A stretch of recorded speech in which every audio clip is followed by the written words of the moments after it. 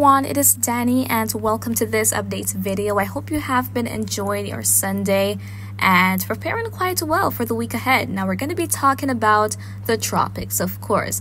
We're looking at the infrared satellites here, and we can see that there is quite a bit going on out in the Atlantic to the well to the southwest of the Cabo Verde Islands. We've got a couple of troughs out there, and so we also see that front which extends from Mexico all the way through parts of the eastern U.S. and out into the Atlantic. And so, uh, with that, there is some inclement weather being induced across sections of the U.S. Some areas have been experiencing some heavy rainfall, even some flooding and severe weather as well.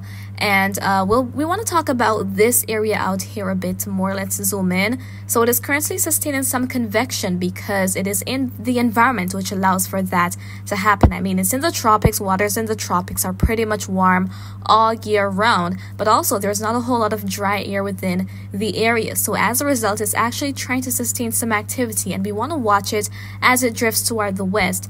And by the way, the Euro model is showing something very very interesting. So let's get on with it. Uh, we're going to be taking a look at the run from both GFS and Euro later down in this video, but this is a look at the current dry air map. Those areas of yellows, oranges, and reds indicate the dry air, and the more vibrant we see these colors, the more dense that dry air is. So we can see that across much of the Caribbean portions of the Gulf, even over in the Eastern Pacific, it's very dry, and as a result, the environment is pretty much stable. So there's no major weather system in the Caribbean right now, but in the vicinity of that trough, we're not seeing where much is going on right now as it relates to a whole lot of dry air infiltration. And it is actually marked right now as we take a look at this surface chart here of the different weather systems out there. There we can see those broken lines, uh, those broken orange lines, they represent where those troughs are located. And so, looking at the Caribbean right now, it's been a pretty sunny day for most of us, even windy as well, with a couple showers moving through sections of the eastern isles of the Caribbean, and also a bit of convection going on over in the Yucatan.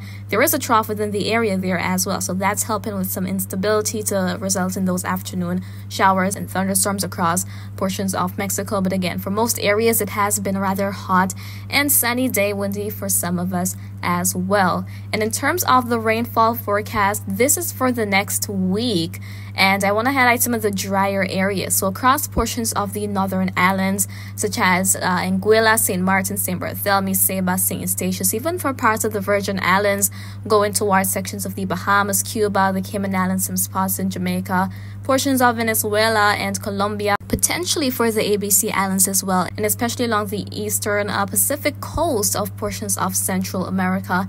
There may not be a whole lot of rainfall as we head through the week. Similar story for parts of Florida as well. Some other areas are experiencing the contrary of a lot of heavy rainfall. And just offshore of northeastern South America, we could see quite a bit of rainfall activity. Again, those troughs will continue propagating toward the west.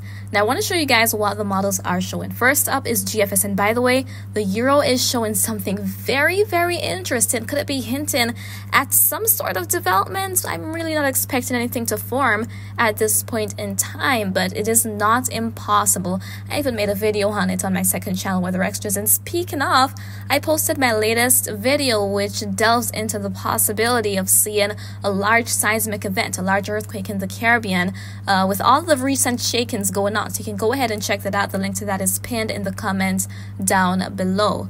So this is GFS. All these green areas, they represent the precipitation rate, and this goes out to Tuesday, December 5th. So Tuesday of this week, there's that area of high pressure and winds within a high pressure system rotate in a clockwise fashion in the northern hemisphere. So we've got those trades coming in from the east, blowing toward the west, bringing all that moisture with it. But there's a front out there. So this is as we head toward Wednesday evening. There we see all that moisture outside the Caribbean and uh, offshore of parts of South America.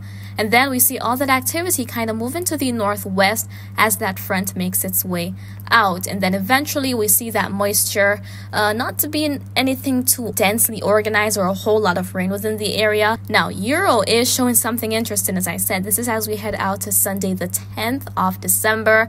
There we can see all of that activity. Uh, we want to zoom into the Caribbean here. This is Tuesday, the 12th of December. There's that front, but with a trough combining with the tail end of the front. that could result in some crazy rainfall activity across portions of the northwestern Caribbean. And take a look at those black lines. They're called isobars, by the way. When we see them in a circular manner, that is representing that we could see some sort of development taking place here. And this is actually looking very interesting to me. But then as we head out to Wednesday of next week, the 13th, we see that this kind of looks quite disorganized. And usually once these fronts pass, the wind shear increases and there's a lot more dry air.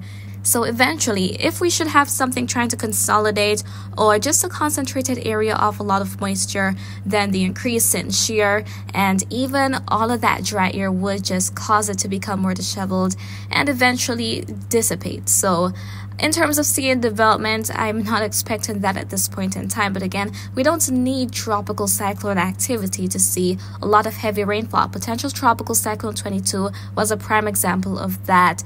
That airflow pressure, that trough, which induced a lot of heavy rain in portions of southeast Jamaica, as well as the Dominican Republic, claiming more than 20 lives, unfortunately. So we'll definitely have to keep our eyes on what will be happening later in this month. But regardless, as we head later in December, going towards January and even February next year. With these fronts dipping further south, and they will likely induce some inclement weather across sections of the Caribbean. But of course, I'm here to keep you guys posted as per usual. But the takeaway is that we've got that area out there, lots of convection going on that may continue to drift toward the west. And in the long term, we could see a rainfall increase in portions of the Caribbean and even near northern South America, as we saw earlier on that rainfall forecast map for the next seven days. But that is it for right now, and I hope you found this video to be quite informative. However, if you have any questions, please feel free to leave them in the comments. I'll respond to you when I get the chance to do so. And remember to always be weatherwise.